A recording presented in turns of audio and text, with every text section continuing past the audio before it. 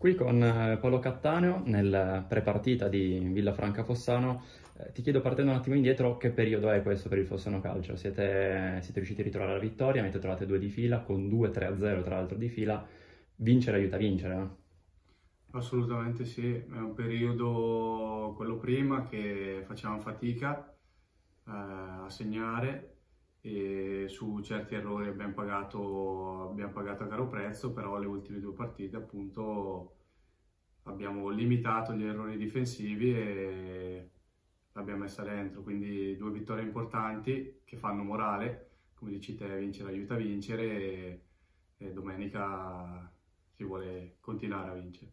Tra l'altro ti chiedo, c'è qualcosa che è cambiato di particolare, forse dopo, dopo la partita col Saluzzo, dopo l'uscita dalla Coppa, se c'è stato magari un, uno step, un, un gradino che poi vi ha fatto cambiare atteggiamento? Beh sì, perché un 3-0 in casa eh, è pesante e sicuramente ha toccato nell'orgoglio qualcuno, me compreso, anche se non ho giocato, però si vede che qualcosa ha cambiato e non dico che con quella avevamo finito i jolly, però era diciamo un'ultima spiaggia perché non, pot- non, potevamo più avere certi risultati, certi, certi risultati, ecco.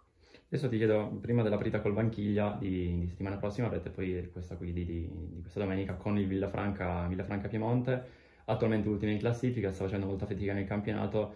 Ti chiedo che partita eh, vi aspettate e come la state, la state preparando. Qualunque squadra che abbia tre punti a questo punto del campionato vuole vincere ad ogni costo, vuole fare punti in, in ogni maniera possibile, quindi noi dovremo affrontarla con la testa più giusta possibile, più concreti, come abbiamo fatto nelle ultime due e, e poi si vedrà sul campo.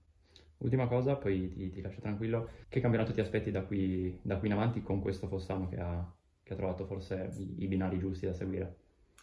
Beh, mi aspetto un campionato equilibrato, perché dalle squadre che ho incontrato ce ne sono 4-5, diciamo 4 che, che, possono dar fastidio a tutte. Mm-hmm.